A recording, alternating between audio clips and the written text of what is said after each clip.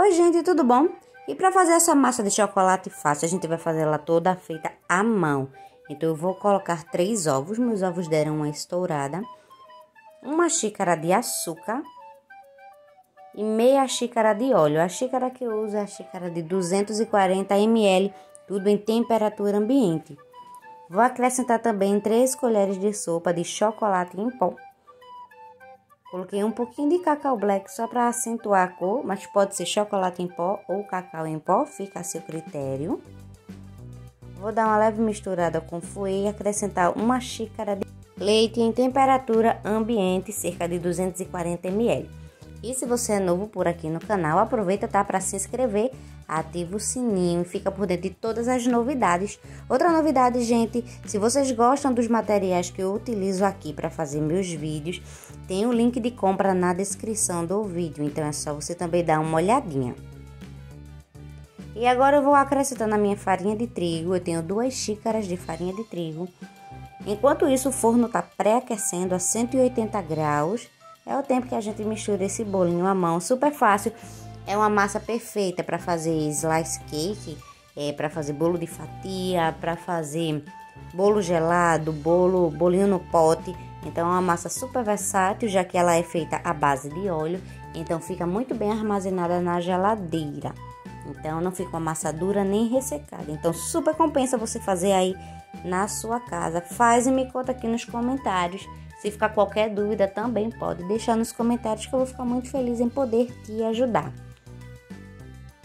E vamos misturando com o fouet toda essa farinha de trigo, bate bem para diluir totalmente. E você pode utilizar essa massa numa forma de 16 centímetros ou 15 centímetros redonda, numa forma quadrada, esqueci agora a dimensão, acredito que 15 por 15, se não me engano e eu vou utilizar uma forma de pão, é, forma de pão que é a fininha, comprida. Mas aí fica a seu critério.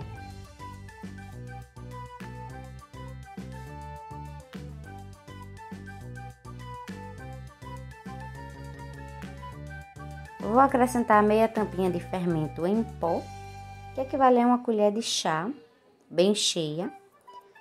Vou misturar. Não precisa ficar batendo, é só para dar uma misturadinha mesmo. E a textura da massa fica desse jeitinho, tá bom, gente? vou raspar aqui agora as laterais e transferir essa massa que tá super bonita para minha forma. Você pode untar a forma ou pode colocar papel toalha, papel manteiga, desmoldante, o que você tiver aí que você tiver o costume de utilizar.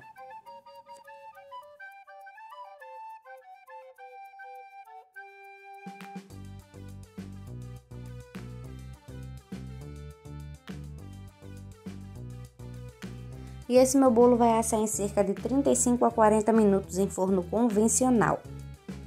Ficou prontinho, já tá frio. Olha só como esse bolo fica bonito, tá, gente?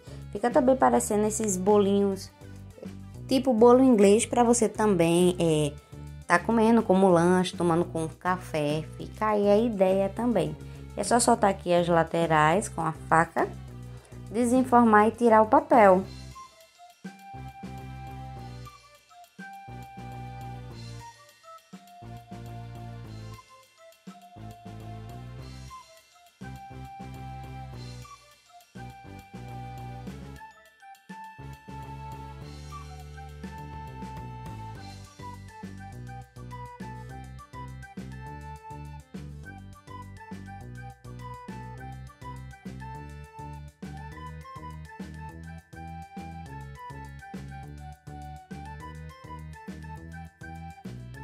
Então é isso, gente. Espero que vocês tenham gostado. Deixem nos comentários o que é que vocês acharam. Qualquer dúvida. Obrigada por ter assistido. Até o próximo vídeo e tchau, tchau.